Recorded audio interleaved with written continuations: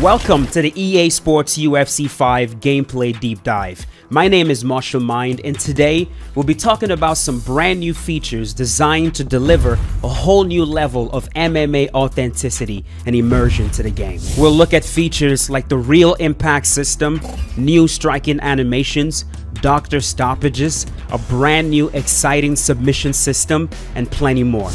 And with that, Let's get into it. The first thing I want to talk about today is the Real Impact System, which is essentially a catchphrase for the conglomeration of health events, facial injuries, full body hit reactions, overall authentic damage, and the impact they have on a fight. Unlike previous games where injuries to the athletes were mainly superficial, UFC 5 introduces an innovative impact system that accurately reflects the physical toll the athlete undergoes during a match, which influences both the athlete's condition and the ultimate match results. This is demonstrated visually with the all-new damage icons. Now before we get into these icons, I, I can't stress enough just how much more impactful this new damage system is going to be in UFC 5. The few times that I've played against another player, every single time I got cut, it was like, oh my god, you really gotta reevaluate what you're doing. You gotta watch out. In UFC 5, as you guys are gonna see once we start talking about these damage icons in a moment, getting cut, getting damaged, it really, really means something and has an impact in the way the fight actually plays out. The vision penalty icon appears when an athlete gets cut in areas of the face where bleeding could lead to visual impairment, like the brows, the eye, the forehead, etc. This leads to an increase in the amount of damage you take on the affected side while the penalty is active. If no further impact occurs to the affected location in 30 seconds, the penalty is lifted. The penalty is also lifted at the start of a new round. The breathing penalty icon appears when an athlete sustains an injury to the nose or mouth. This impact will decrease the short-term stamina recovery for as long as the penalty is active. If the athlete can protect against subsequent damage to the affected area, the penalty will be lifted in 30 seconds or at the start of a new round. The stun icons are broken down into three different icons. The head stun icon, the body stun icon, and the leg stun icon. The head stun icon appears as the result of any health event to the head. The body stun icon appears as the result of any health event to the body and the leg stun icon appears as the result of any health event to the leg. The health icons are also broken down into three different icons, the heart icon, the arm health icon, and the leg health icon. These icons authentically represents the effect a submission attempt can have on an athlete. The heart icon appears when a player loses a chunk of their maximum stamina due to a deep choke. The goal here is to accurately represent how chokes, especially deep ones, can negatively affect an athlete's overall stamina. The arm health icon is meant to signal a loss in maximum block health due to a deep arm submission. Whether it's an armbar or a kimura, overextending the arm realistically leads to a reduction in blocking ability, and UFC 5 represents this authentically. The leg health icon signals a loss in permanent leg health when a player survives a deep leg lock. Leg locks, of course, are some of the most potent submissions an athlete can endure. So whether it's a deep heel hook or a calf slicer, surviving will not leave the athlete unscathed, and UFC 5 authentically represents this reality. The next thing we'll take a look at is doctor stoppages. For the first time in the EA Sports UFC series, the doctor stoppage will now be another viable way for players to end a match. The doctor stoppage icon will appear initially as a result of any facial injury, not including injury to the mouth. At first, the icon appears yellow, but as subsequent impact is received on the affected area, the icon will appear more red. The more red the icon becomes, the closer the ref is to halting the match briefly and requesting a doctor check. If the doctor examines the injury and determines it is not severe enough to warrant a stoppage, he will exit the cage and the match will continue. However, if he examines the injury and determines that it is indeed significant enough, he will signal to the ref and the match will end. The introduction of Doctor Stoppages to UFC 5 is just another way that the game truly delivers an authentic mixed martial arts experience. But it also adds another layer to gameplay. Being defensively sound has never been more important, and because of this, there has been some significant enhancements to the core defensive tools in the game. Footwork, blocking, head movement, and lunges have all received significant upgrades resulting in a substantial improvement in their reliability for defensive maneuvers. Now, this is an area that a lot of players definitely complained about in UFC 4, right? Like pressure is too strong, block breaking is too strong, being defensively sound in UFC 4 is not as easy as it's supposed to be, and don't get me wrong, in UFC 5, when you run into a player that knows exactly what they're doing, you can definitely still get run down with strikes. But as we start talking about these new defensive tools in UFC 5 and how they've been upgraded, how they've been buffed, once you master these and once you start using them as intended, you're going to notice you'll have a lot more success in UFC 5 than you did in UFC 4 when it comes to dealing with pressure and just overall aggression. In UFC 5, head movement in all directions is far more responsive. It is faster and it costs less stamina. In addition to that, the vulnerability incurred while using head movement has been reduced. Altogether, these advancements collectively establish head movement as an even more potent defensive tool in UFC 5. Lunges will now also cost less stamina as well as concede less vulnerability, which means players will be able to use them a bit more freely compared to UFC 4. And let's not forget about footwork. The significance of the footwork stat has been amplified in UFC 5, specifically when it comes to locomotion. Athletes with a high footwork stat will move noticeably faster, and athletes with low footwork stats will move slower. So if your goal is to operate from the outside and be slick and run circles around your opponent, this will be a much more viable strategy in UFC 5. Now, this topic of defense has always been a nagging issue in the EA Sports UFC community, and I really wanted to dive a bit deeper into this just in case I missed something, which is why I sat down with Yves Gomez, an EA Sports UFC developer who, by the way, used to be a game changer. Some of you probably already know who this is. He explained to us a little bit deeper in regards to what we've already talked about, right? With the head movement, the lunges, the locomotion. He goes a little bit deeper and not only explains to us what they did, but also why they did it. What was the logic behind why they made those decisions that they made. So here's Yves talking about these changes. All right, so can you talk about how vulnerability is going to affect head movement in UFC 5? The frames part of it is just the first part, like the first buff, and it was also buffed regarding the stamina cost. It now costs a lot less across the board, and the vulnerability was decreased and the mitigations were increased. We also added mitigation to when you try to dodge sideways against the frontal attack and it still catches you.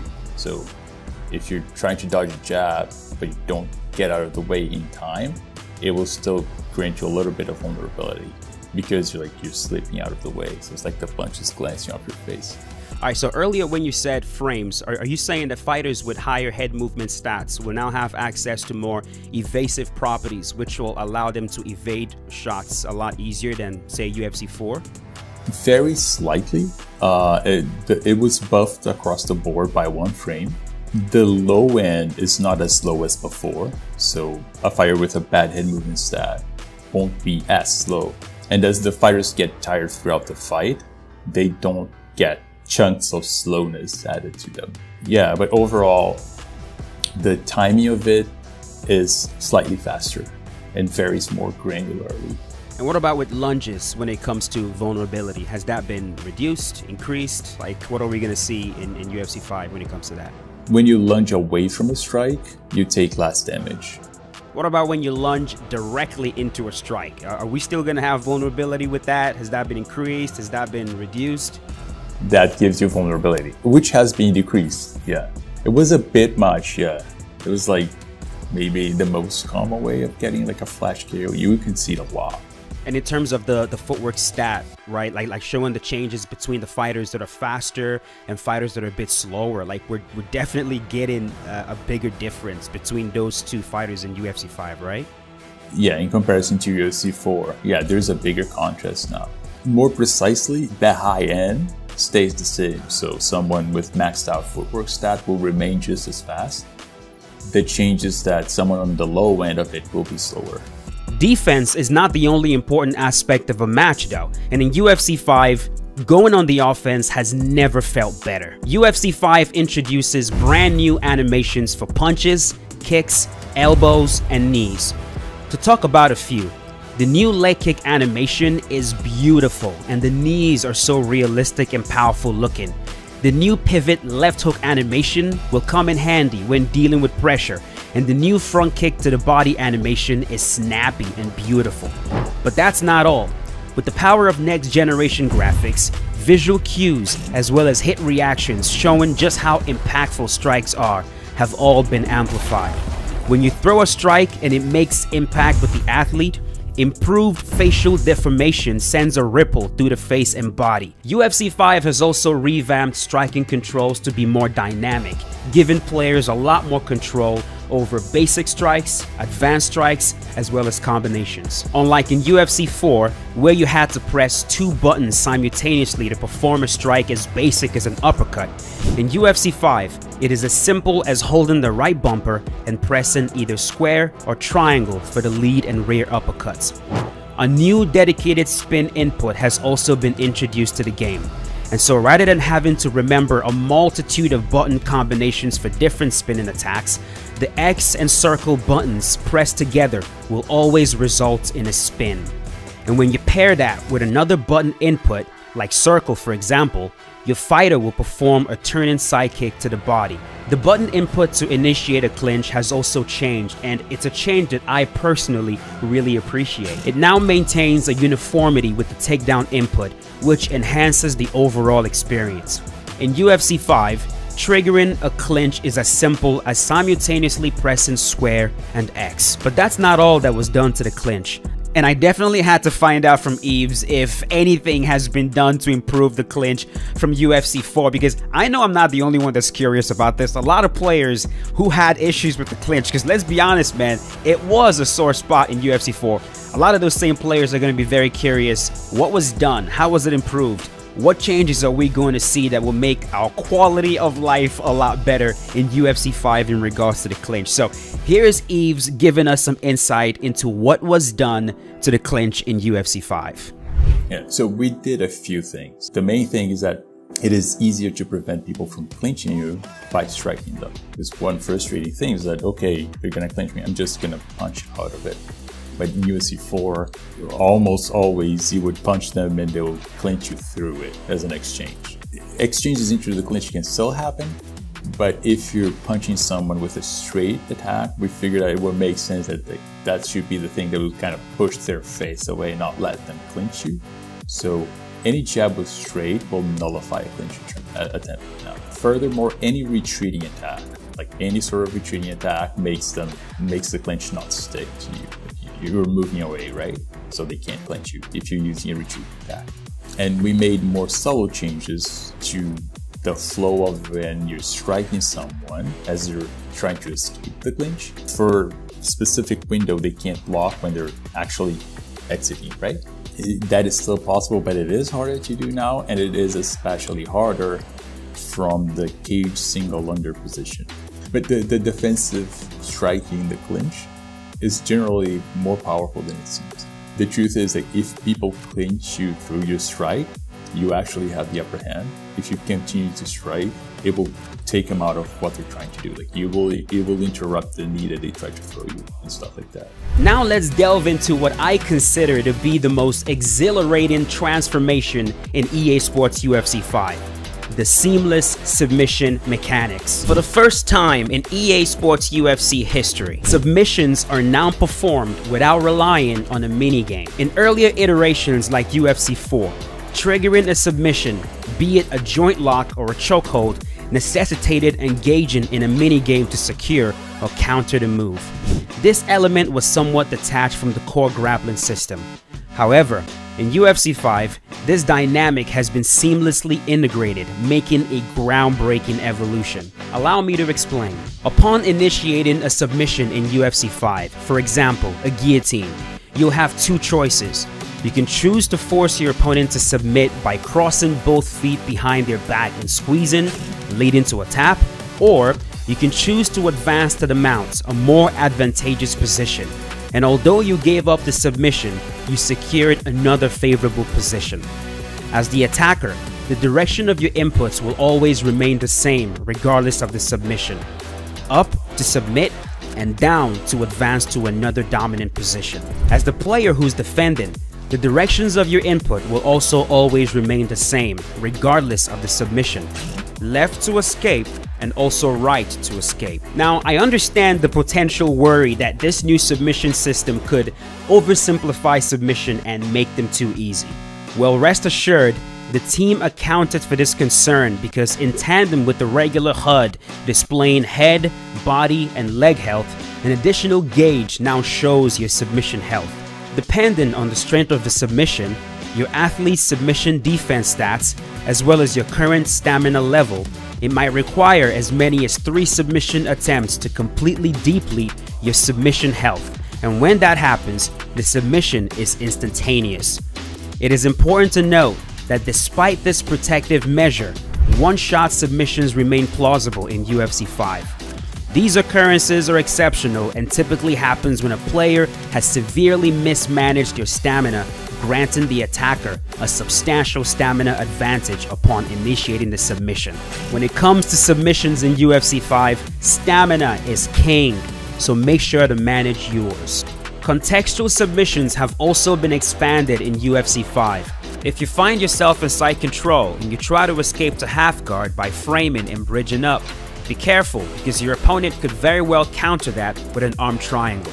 If you find yourself entangled in a rubber guard and you try to recover the full guard, also be careful because you could find yourself fighting off an armbar. UFC 5 introduces a multitude of contextual submissions that once mastered imbue the ground game with a heightened sense of authenticity. Adding to the authenticity of the ground game, the ground and pound system has also been revamped. All new ground and pound animations from straight punches to hooks, including high impact elbows to the head and body, accurately captures the visceral reality of ground and pound. And unlike past iterations of the game, when you stop the opponent on the ground, the reaction they give you is believable. So we've talked about the brand new submission system, we've talked about contextual submissions, we've talked about the brand new ground and pound, but I'm sure a lot of people still have questions in regards to the core ground game, right? Like how is it different from UFC 4? What else was done to it in UFC 5? And once again, I sat down with Yves Gomez and he's going to talk about some changes that might not be immediately noticeable, but they'll still have a major impact in the way the game actually plays on the ground. If you have pretty much a whole round on the ground. Your stamina, like your permanent stamina consumption, should be similar to if you have a whole round striking. The ground won't be like a refuge of almost no stamina cost anymore. With the new submission systems, seamless submissions, we added a lot of depth, but we didn't want it to be intimidating for new players or players who are starting to grapple. You can play grapple assist within submissions. It all flows like for a casual player, like it's pick up and play. You're not gonna play at a high level, but you're not gonna get stuck. Now there's no more minigame. And when you're using grapple assist, grapple assist just continues to work as you get into the actual submission. You can use the submission intent to just keep going and finish the opponent. If you're defending, just trying to get up, you can keep just doing that. Or if you're trying to ground and pound, you can escape a submission right into a ground and pound position to punish your opponent for doing it. Do you try to submit you? You can even, as a defender, use the submission intent to counter a submission to one of your own if your fighter can do that. A lot of the fanciest things in this system actually happens a lot. You get to see a lot of cool animations because you're often sort of, especially if you have two beginners playing with grapple assist, you're constantly racing. And when you're racing, like you know that that's when you see the coolest stuff, right? We get into an armbar, like immediately we just, you try to escape, I try to finish, we go into a belly down armbar, you flip, and then end up inside your leg. All of these crazy stuff, the coolest stuff actually happens a lot when you're playing as a beginner. In your own pace, you can start to explore depths and changing controls and so on and so forth. And there are more, more changes to the ground.